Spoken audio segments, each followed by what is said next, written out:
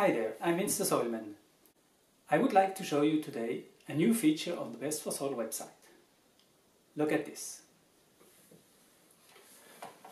So you're on the website of Best4Soil on the homepage and you think, okay, I would like to see what they have as fact sheets. You see them, okay, nice choice, but one is missing. I would like to know one thing more, more about inundation. So you click on the feedback button, go on the top, you are a grower, so indicate that from Hungary, so you add this too. You want to give feedback to the fact sheet, so you click on that. You think in fact they are useful, comprehensible, but there's one missing, so you scroll down and here you add needs a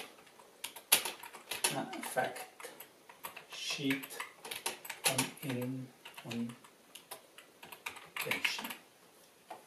So this is okay, now you submit your feedback. And here it's done. So I think this is really a good, nice new feature of the Best4Soil website. Please use it because we really need your feedback so we can improve the website, the network of Best4Soil. Thank you.